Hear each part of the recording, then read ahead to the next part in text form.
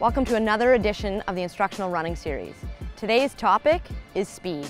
I'm Sasha Gollish and I'm a middle distance runner based in Toronto, whose favorite distance is the 1500. The goal with speed work is to get you more confident running faster over a longer period of time. The pace you run your intervals at will vary depending on your training goals and current fitness level. The aim is to practice running faster than what you're used to in order to make those paces feel even easier. Before attempting any type of speed training, it's important to be properly warmed up.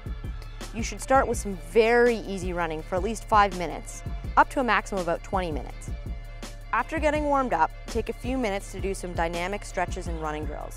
These specifically prepare the body for the demands of running fast. Practice drills like high knees, butt kicks, fast feet, and walking lunges.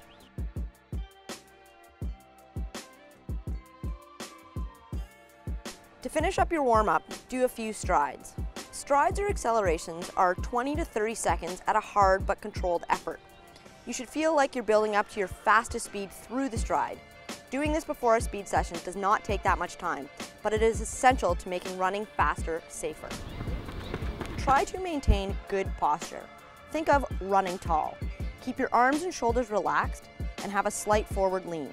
Your arm swing should be compact when you make contact with the ground, you should land on your midfoot. The contact should be almost directly underneath your hips. Try and think of landing softly instead of pounding the ground. All of this will help you not to overstride. In terms of tempo or cadence, you should take around 180 steps per minute, or 90 steps per foot. When I'm doing speed work, I like to think to myself, fast feet, fast feet, fast feet. And I always endeavor to make those first few steps of my stride really, really quick. There are a few recommended speed workouts you can try while training. Those training for a 5K could try 200 meter repeats, just a titch faster than goal race pace, with one minute easy in between. Start with eight intervals and work up to 12 or more. If you're training for a 10K, try 400 meter repeats at 10K pace with two minutes of rest between. Begin with six intervals and build up to 10. Running five 800 meter repeats with three minutes rest is also a good option. Throughout your training block, throw in some weeks with 200 and 300 meter repeats, aiming for 3 to 4K total. The shorter intervals will also let you go a little bit faster than race pace, which can also have a great training effect. You want to rest just long enough to recover and be ready to run the next interval. But if you rest for too long, you'll begin to lose the desired effect. If you're new to training or just starting speed work, reduce your number of intervals.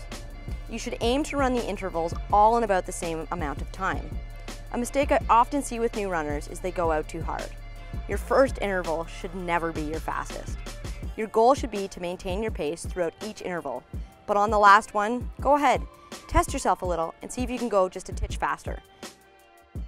Rather than trying to run faster, you should gradually increase the number of intervals you do or reduce the amount of rest in between. This will ensure that you get in a good workout and don't risk injury.